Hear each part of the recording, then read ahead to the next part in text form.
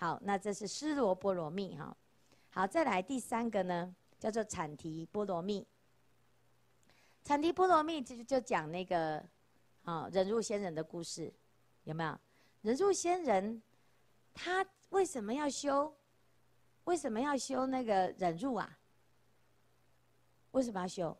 他坐在那边，在树下修行。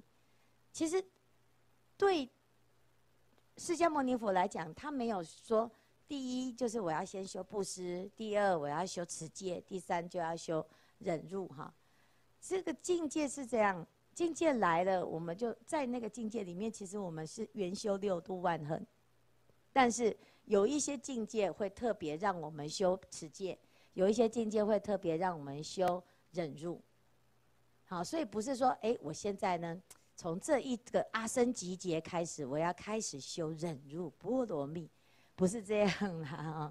因为我们有一个呃师傅呢，他就教我们一个方法：礼拜一修布施，礼拜二修持戒，礼拜修三呃三修什么忍辱布施持戒忍辱精进般若，啊啊禅定般若，对不对？礼拜六对不对？那礼拜天修什么？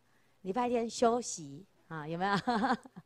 哈 礼拜天其实要修最多哈，那我们在修的时候，其实这些法门都随时都可以修，好，从早到晚都可以修哈。那我们就挑出什么？挑出这个最严重的、最具有代表性的。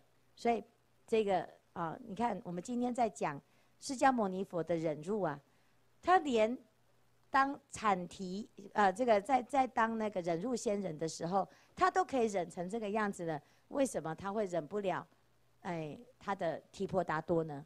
所以呢，这是不合理的嘛。想一想也是，是不是？人家这样子恶口去骂他，好毁谤他，攻击他，他前面已经经历过这么严重的啊，这么严重的考验，他都能够过关了。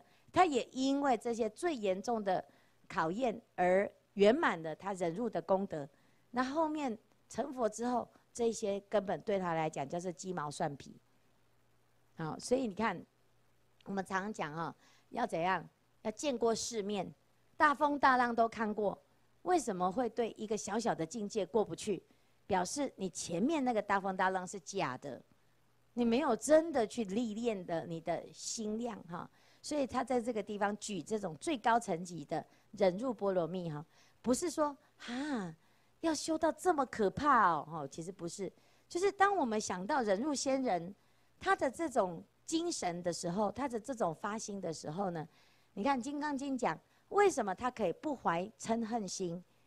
他没有嗔恨心，是因为当时怎样？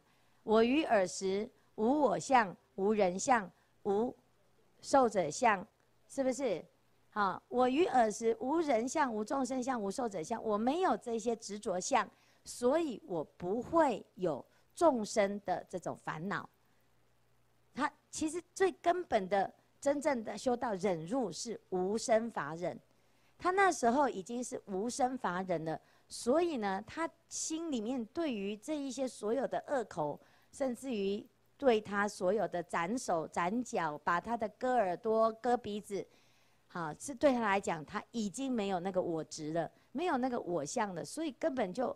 不会影响他的这个心里面的烦恼哈，他没有起任何的烦恼去对应那个境，因为没有那个能忍之心，也没有所忍之境了，能所不相应，忍住就成就了。哦，所以最高境界呢，我们啊，那以前常常就有一个笑话，就讲忍无可忍，就是最高境界啊。好，没有需要忍的对象。就是最高境界，叫忍无可忍。我们一般的忍无可忍，说我再也忍忍耐不了你的。其实那个不是忍，好，那是受不了，好，而不是要做忍无可忍。真正的忍无可忍，就是没有能忍之相，没有能忍之心，所以没有可忍之相，没有需要忍，好，这叫忍无可忍。哈，产提的波罗蜜呢，就是在这个无生法忍当中就会圆满。好。